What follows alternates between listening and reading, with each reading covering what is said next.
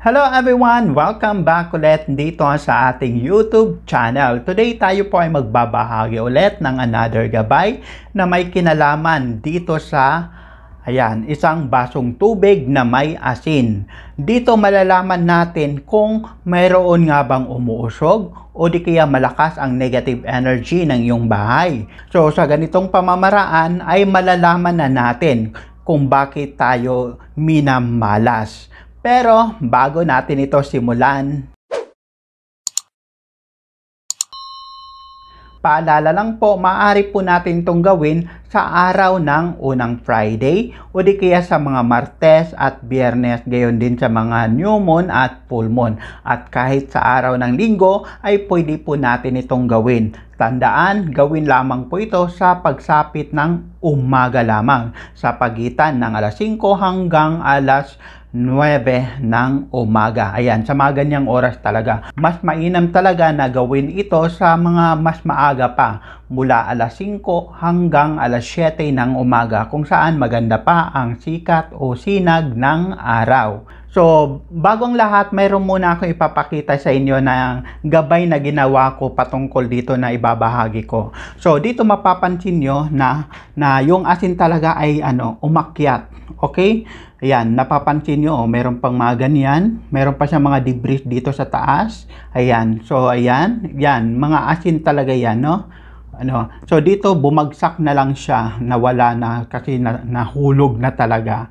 Ayan, napapansin nyo. So, pag ganito po ang nangyayari, ibig sabihin lamang ay mataas ang level ng negative energy sa paligid mo. O di kaya ito ay galing mismo sa katawan mo. Which is magandang indikasyon po ito dahil talagang nare-release o nababawasan, naaalis yung negative, yung negative energy. Okay, tulad ko, ayan, malakas ang negative energy ko. Ayan, so talagang nagre-release ito. O di kaya naman, yung area mo, uh, yung palibot mo, yung paligid mo, malakas ang negative energy.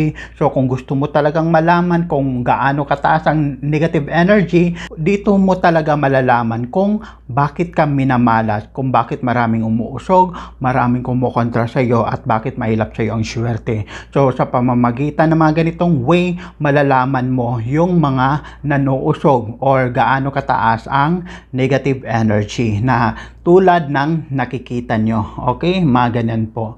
Ayan, as in, matigas-tigas talaga to. Ito, hinawakan ko siya. Dahil sobrang tigas talaga yung asin, matigas. So, paano nga ba ito gagawin? So, una, kukuha lamang tayo ng isang basong tubig and make sure yung baso natin ay babasagin at ang tubig na gagamitin natin ay malinis dahil we have the good intention sa gagawin nating gabay. So, kailangan tubig na malinis.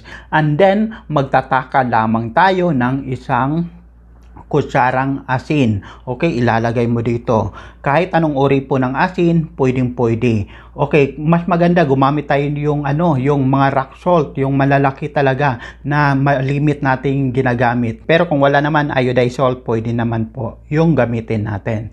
Then after that, ayan, ang gawin mo lamang nito, ayan, wala na po itong dasal, wala na po itong ritual. Okay? Wala na. Wala ka nang sasabihin or anything. Basta ang importante lang na uh, maganda pa yung aura mo, maganda pa yung enerhiya mo, okay? You have the good intention habang ginagawa mo ito. Okay, then after that, pwede mo na ito ilagay sa isang lugar o anumang sulok ng bahay mo. Okay? Tulad ko na mayroon lang akong sariling kwarto, so sa kwarto ko lamang siya inilalagay. Lalong-lalo na sa likod ng pintuan. Okay, sa likod ng pintuan, doon po natin ito ilalagay. O di kaya sa inyong mga main door na pintuan, pwede doon ilalagay. O di kaya sa mga area na mataas ang level ng negative energy, lalong-lalo na kung ang bahay ay kabilang sa bad feng shui, tulad ng kubeta, ayan, sa may, ayan, papasok ng kubeta, doon nyo po ilagay, o di kaya sa loob ng kubeta nyo po, sa likod ng pintuan, doon ilagay. O di kaya sa ilalim ng hagdan, o di kaya sa ibabaw ng hagdan, pwede doon po natin ilagay. O di kaya, para naman sa mga ano natin, malaman natin yung bahay or yung bahay natin ay kabilang ba sa negative energy, ayan, sa likod mismo doon sa uh, front door ng iyong bahay sa likod, okay? Doon nyo po ito ilalagay. O di kaya sa wealth area, okay? Yung timog silangan ng parte ng ating bahay upang malaman natin kung tayo ba ay siniswerte o minamalas sa pera at mga biyaya. So doon natin malalaman sa mga lugar na yan kapag inilalagay natin dahil magkakaroon agad ito ng resulta 2 to 3 days. Ayan, dalawang araw o tatlong araw, doon mo malalaman yung resulta agad nito. Okay? So, by the way, pwede rin po kayong maglagay nito kahit sa mga tindahan o sa mga negosyo nyo po o sa mga opisina nyo po. Ayan, pwede rin po kayo maglagay nito to, to try o gusto mo talaga malaman. Ayan, pwede nyo po itong gawin kung gaano kalakas ang negative energy sa paligid. So, maaari lamang po itong magtagal ng tatlo o hanggang limang araw. Okay?